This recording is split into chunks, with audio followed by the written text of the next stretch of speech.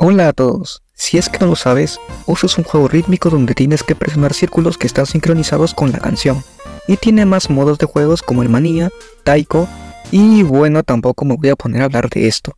Si eres un jugador de Osu y te gusta crear mapas o estás pensando en hacer uno, hoy te traigo un video sobre cosas que tienes que tener en cuenta antes de publicar tu primera creación.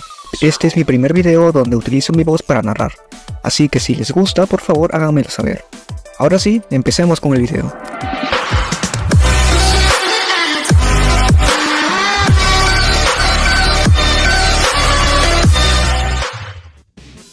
El primer punto que vamos a tocar es que no es para nada necesario pedir derechos de una canción hacia el creador para usarlos en tu mapa. Es cierto que el plagio y utilizar contenido de otra persona en internet no es algo bueno y está penalizado, pero en el caso de Osu, esto no sirve de nada. No es que tú subas un mapa y de pronto venga alguien a denunciarte y tiras a atacarse. No, eso no funciona así. A lo más que puede ocurrir es que aparezca una advertencia en el mapa que diga que la canción tiene derechos de autor. He visto algo así alguna vez. Pero créeme, las probabilidades de que esto ocurra son de una entre un millón. Así que puede estar tranquilo porque esto no va a suceder. De igual forma, no te debería importar si la imagen y el video que pongas en tu mapa de fondo tenga derechos de autor, porque no va a pasar absolutamente nada. Punto número 2. Cuando termines tu mapa, verifica que este se pueda pasar. Es cierto que esto no es necesario para poder publicarlo, pero a ver, ten algo de conciencia. Haz como si fueras un jugador nuevo que está entrando a tu mapa. ¿Acaso te gustaría que alguien al jugarlo le parezca una mierda porque las notas están desincronizadas con la canción? No, ¿verdad? Aunque tampoco es necesario que te pases todo el mapa, pero sí puedes ir probando algunas partes y ver que están bien hechas. Si lo pruebas y no ves que las notas anden tirando 100, 100 puntos, es una buena señal de que tu mapa es apto para que lo jueguen las demás personas. Punto número 3. No hagas lo que los demás hacen. Es cierto que al final siempre terminan siendo círculos pulsados, pero lo que me refiero con esto es que no tienes que andar copiando lo que hacen los demás.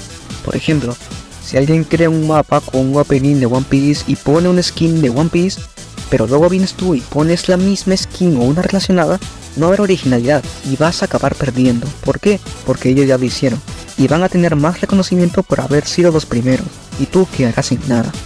De igual forma al mapear, cada persona tiene sus patrones de mapeo y si has jugado mucho podrás notarlo.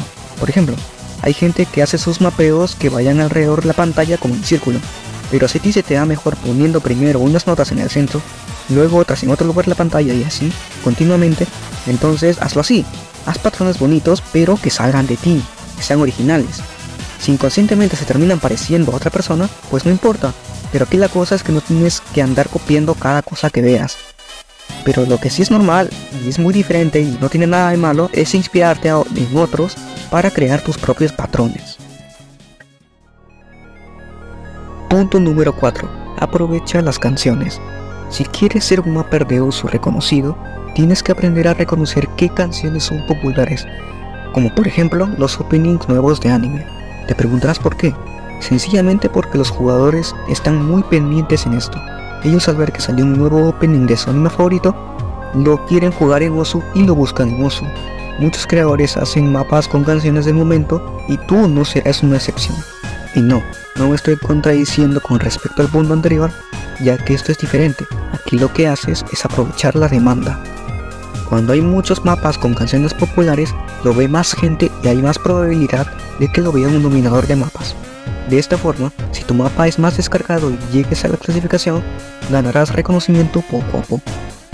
Recuerdo que un día hice esto, subí un mapa de la Mujer Dragón y lo vio mucha gente que en ese entonces no sabía crear tan bien y terminó siendo un asco total con comentarios negativos y pues lo eliminé.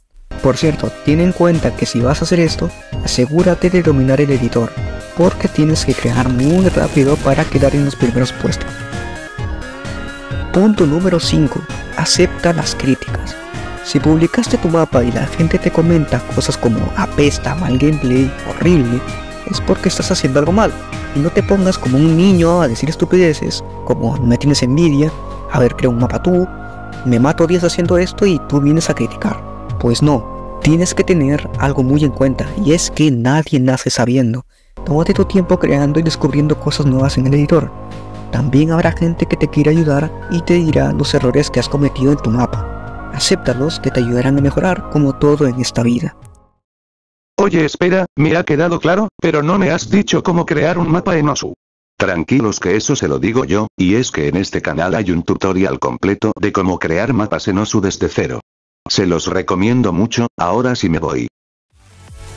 Y bueno amigos, estas fueron las cosas que tienes que tener en cuenta antes de subir tu mapa de Osu.